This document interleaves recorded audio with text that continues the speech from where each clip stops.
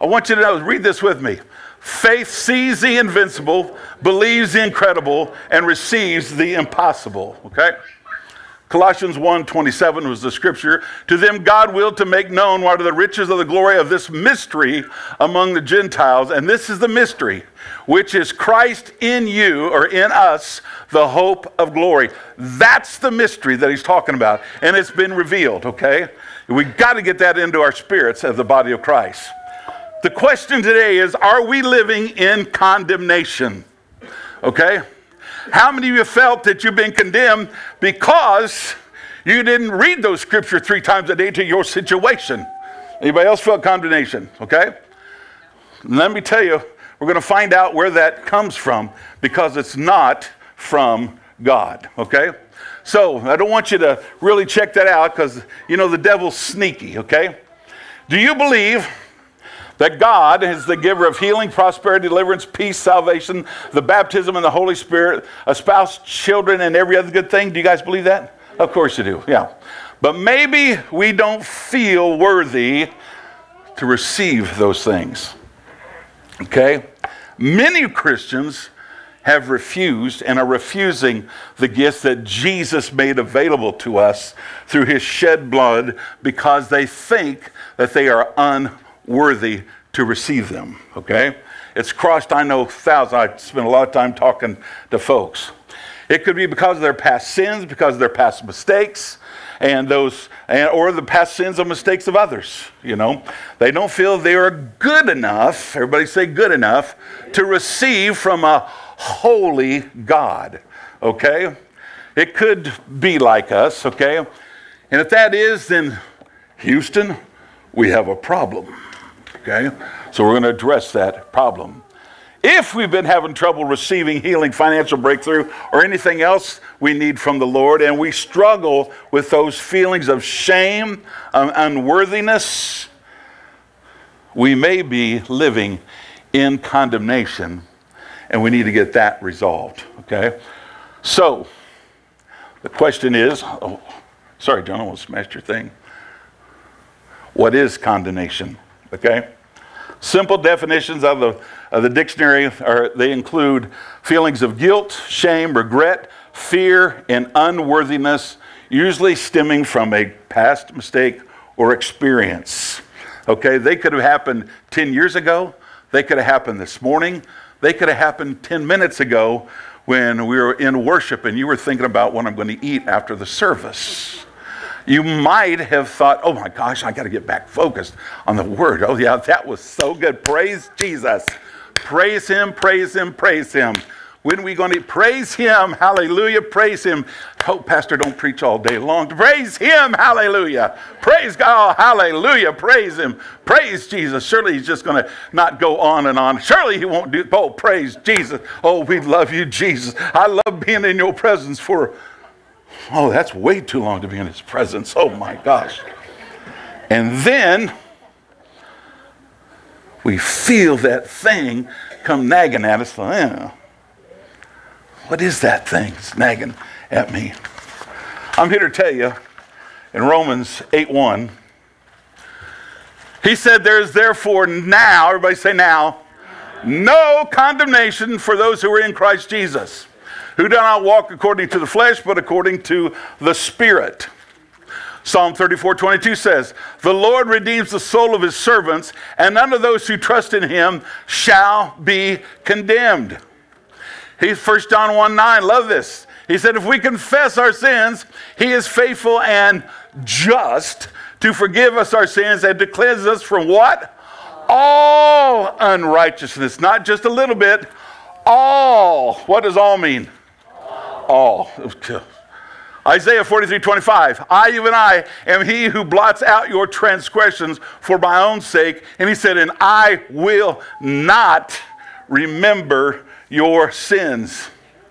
Psalms 103:10. He has not dealt with us according to our sins, nor punished us according to our iniquities.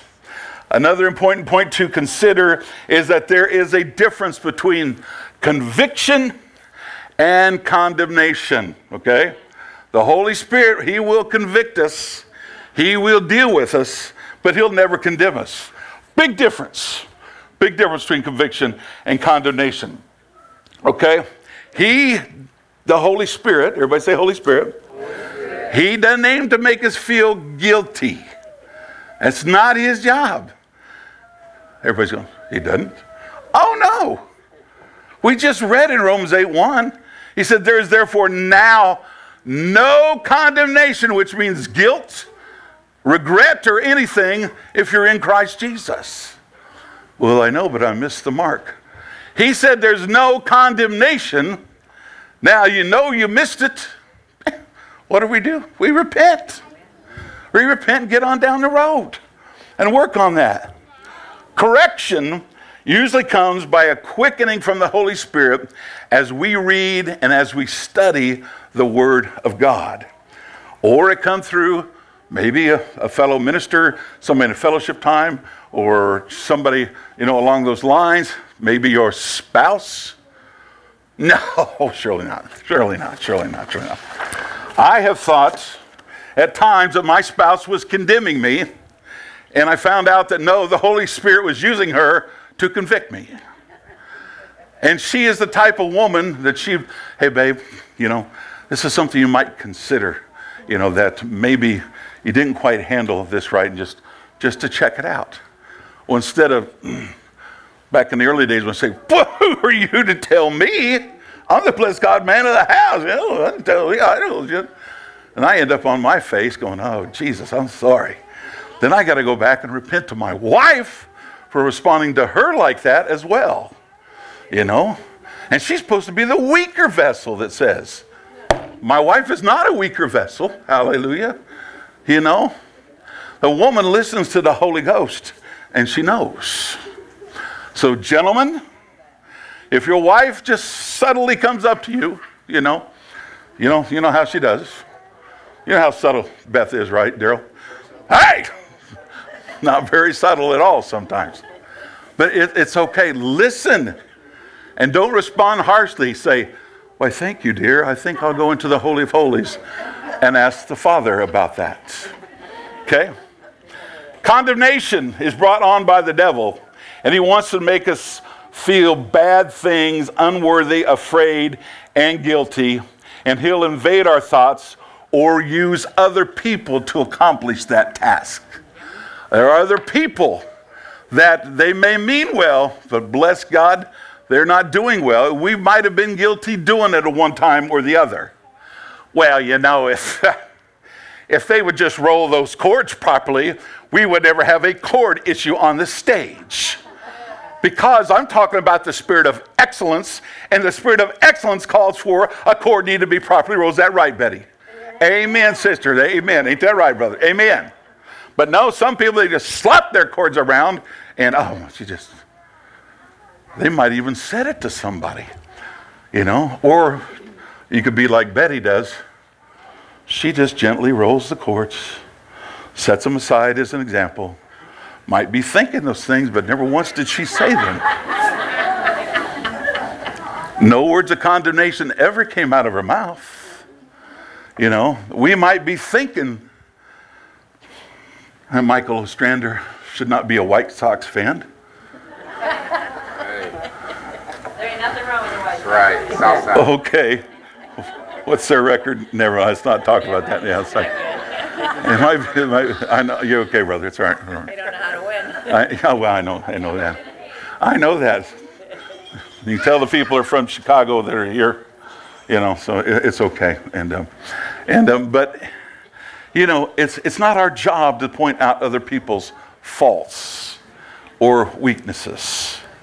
Okay? It's not what we're called to do. So we need to ask ourselves Am I living in condemnation at all in any way, shape, or form? Okay? Here's warning sign number one there are 17 warning signs. Just kidding. Just kidding. I saw Josh Presbyterian go, Dear Jesus, there better not be 17 warnings. Pastor, I'm out. I'm out. Warning sign, everybody say number one. There's only four, okay? We think about the past a lot. Okay, Philippians 1. Oh, I did that already. That's good. One thing I do, forgetting what lies behind and reaching forward to what lies ahead. I like the way the New American Standard said it. That's why I use that version. Think about it. do we do we do thoughts of our past seem to creep out of nowhere at some point in time? I know they have for me. Mistakes and sins that even 10, 20, and 30 years that should have been under the blood and stayed under the blood, do they creep up and try to ensnare us and attack us? Sure, they do. Or maybe we keep reliving a negative life experience that left us hurt over and over and over again. It could have been a relationship at some point in time. It could have been a previous marriage. It could have been previous something with your, your parent. You know, you might have been abused as a child. You might, all of those things, they want to tend to come back and haunt us. They want to tend to come back and make us relive the shame, the guilt, the regret over and over and over again. Have you ever said, I wish I would have? Man, if only I wouldn't have. If, man, if I just would. Oh, I said that, you know, more than once. More than once. The number one warning sign that we may be living condemnation and that something's not just right is it's if we think about our past, our past sins and negative circumstances. And remember, those things can leave us feeling negative. That's why God tells us to leave what's in the past in the past. Yesterday's done. It's over with. This morning's over with. The fact that Joey had to get up and do Jossie's hair this morning, you did a great job, Joey. Excellent, outstanding, by the way. Outstanding, by the way. Because she had to be here at practice at 8.30, so Joey willingly got up at 6 and got ready and everything ready to go. And not quite right. Close. Okay, just close. Just close by it. Okay. Okay. Okay. It leaves in the past. So, okay, so how do we, how do, we do that? That's where we got to know that Jesus already took the condemnation upon the cross. He willingly took it. He said, nail it all up there. Man, that's why we have that cross in the back, and we got these chains, and sometimes we'll have services where you can grab a chain and you can take that past thing that's been and put it up there and leave it as an act of your will and letting it go. Because we talked about this time and time in the past where we'll come and we'll try to leave it here. God, I'm, I'm turning this over to you right now. You can have it. I'm leaving it here. And I thank you that you're going to take care of it. And then because it's been 33 seconds, and okay, since you're not going to do it, I will. And that's what we sang that song it says, man, didn't get in a hurry. Lazarus was dead how long? Four days?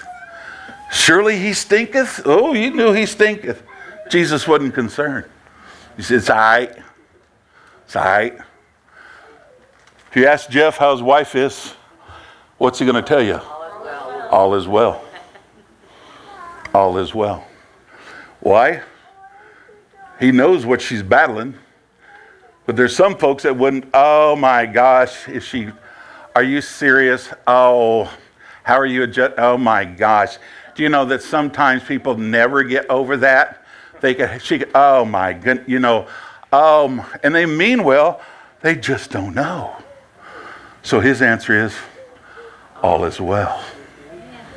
Because he knows the word of God. Okay?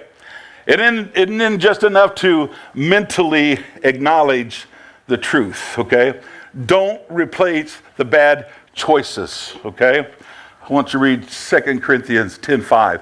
He said to casting down arguments and every high thing that exalts itself against the knowledge of God, bringing every thought into captivity to the obedience of Christ. When we start thinking on the other things that aren't the Word of God, what's He say? Oh, cast those things down. He'll bring every thought to the captivity, the obedience of Christ. And no, no, no, no. That's why He said to meditate in the Word day and night. He said, then we will have good success. But sometimes we don't because we all get busy and well doing. Okay?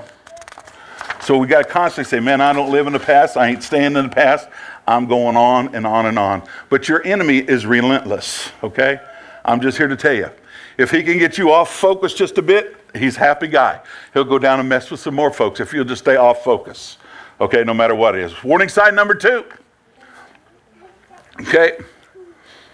This is, um, we can't seem to forgive ourselves. That's a warning sign that we might be living in condemnation. The Bible says, 2 Corinthians 5.17, this is the New Living Translation. He says, Therefore, if anyone is in Christ, he is a new creation. Old has passed away, and behold, the new has come. Okay? The old has passed away. When we become born again, we're brand new. Everything is done. All that past, all the past mistakes, all the past sin, everything, it, it's done. We, we're, we're brand new. It's a brand new day. And early in the morning, when we get up, it's a brand new day. It's a brand new start. We get to go all over. We get the opportunity to do it again, and even better, to affect more people for Jesus than we did the day before. Man, you know that word enthusiasm? It starts with the two Greek words in theos. That means in God. That's where that came from in God, enthusiasm for the day, for the word, for his, you know, oh, I just long for that resurrection power to be manifested. You know, we had last week somebody had a chicken raised from the dead, and it got the same response last week, too. Oh, oh really? Somebody said, well, dang, you could have fried it. I said, but she didn't want to fry it. It was her chicken that laid eggs. And it lived. It was dead. There's no doubt it was dead. It lived. She prayed for it. It came to life. And it's doing what it's supposed to lay eggs. But, you know, it's, it's like somebody says, well, I've got another outlook. Let's just eat it. Die, let's eat it. Okay? Could have done a couple things. Okay? Okay, condemnation, feelings of rejection, feelings of failure, insecurity and depression. You ever battled those? Insecurity and depression, that's all signs of condemnation, not conviction. There's people that struggle with that even probably in this house, with depression. They, they just struggle with that, with the insecurity, with fear that tries to come upon us. My Bible says God's not given us a spirit of fear, but a power and love and a well disciplined mind. That's what that Word of God says. He said, Think on these things. It's up to us to do it. He said, Man, I've given you everything that pertains to life and God. He said, Go be. Go be who I called you to be. Man, go conquer the world. Remind the devil, say, man, you're under my feet, so shut up and sit down and get back under there. Jack. Hope your name's not Jacqueline using that in vain. 1 John 1 9, there's that scripture again. We confess our sins, he's faithful and just to forgive us our sins and to cleanse us from what? All unrighteousness. We got to learn to forgive ourselves. You know, sometimes it's easy for us to forgive other folks. Sometimes it's harder for us to forgive ourselves. So when you're looking in that mirror in the morning, you, ah! Jesus, I thought I'd lost 50 pounds in my sleep. He says, No, you, you were undisciplined. Oh, okay, I'm working on that. When I know I'm undisciplined and then that feeling of, you know, oh, condemnation comes, that's not from the Lord. You know, he's, he's just reminding us, hey, don't worry about it. Let's get up. Let's, let's do better today. You'll make a right choice. Just because the kids went to McDonald's, you had to take your grandkids there doesn't mean you had to have one. Oh, yeah, Lord, but I didn't want them to feel bad. They're eating by themselves. I was just trying to, he goes, so you know, he's like that going, mm hmm. Let's get over it. Let's go better, better. We'll do better today. Yes, sir. And I don't feel condemned but I feel encouraged. Okay, I'm going to make great choices today. Even when I'm back there helping, I'm probably going to have a piece of that all vegetarian pizza with no taste and horrible crust. oh, help me, Jesus. Hey, you know what? If you don't forgive yourself, the devil's going to take it. He's going to beat us up with it. He loves to do that. It's a good time. So why? Maybe because we might be self focused. Huh. And receiving forgiveness means we need to be God focused. Just a thought. Just a thought. Okay, almost done. You're going to close in prayer, by the way, so. Warning sign number three. This could be a result of it. We have a judgmental and critical spirit. Not us, God, we're Christians. Matthew 7 2. This is the Passion translation. I like this. He said, For you'll be judged by the same standards that you've used to judge others. The measurement you use on them will be used on you.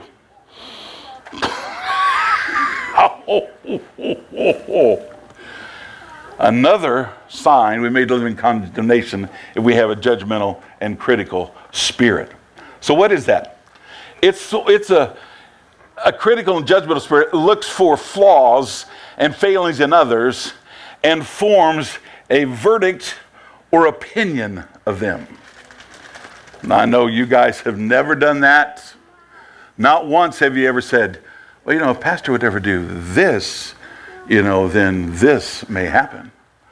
You know, if um, if um, so and so would do this, then that might not happen. You know, and it all it's it's in the attitude of the heart. You know, this is what we got to deal with. But that's where we got to check ourselves. So as we're criticizing and passing judgment on others, and we're saying stuff like that, and he says, "Well, at least I don't do that." That might be a fact that we're living under condemnation. Maybe, maybe. Okay. However, often we are we are only feeling judged by others because of condemning thoughts that replay in our heads. Okay? The Bible warns us about it. Okay? Here's the New King James version of that. It said, For with what judgment you judge, you will be judged, and with the measure you use, it will be measured back to you, by the way. God loves us so much, church, that He sent Jesus to die for us. And because we've accepted this free gift, are you born again? If you're in here born again, say, Yeah, that's me. Raise your hand, say, That's me. I'm born again. Then we're no longer condemned. Okay? Look at somebody say, You're no longer condemned. No, no longer condemned. No condemnation. Another sign of critical spirit fueled by condemnation may be highly critical of ourselves and comparing ourselves to others. We may need constant affirmation from people around us. We need to be affirmed. You know, need to be affirmed. Men like to be affirmed by their wives. They like, I would like, you know, for my wife to find something good about me and say it. That's not a natural gift to hers, okay? She's very good at pointing out things that. So, why, why'd you do that? I said, Do, do what? Well, and I just love it whenever she, and she has to train herself. It's not a natural flow for her. You know, I can find good in about everybody no matter what. Oh, oh. That's a nice freckle on your nose there. I like it. no matter what, I can find something good in folks, no matter what it is. No matter what it is. And some people don't. They, they just, you know, we always look and always look. But I do see critical stuff. I see stains in carpet.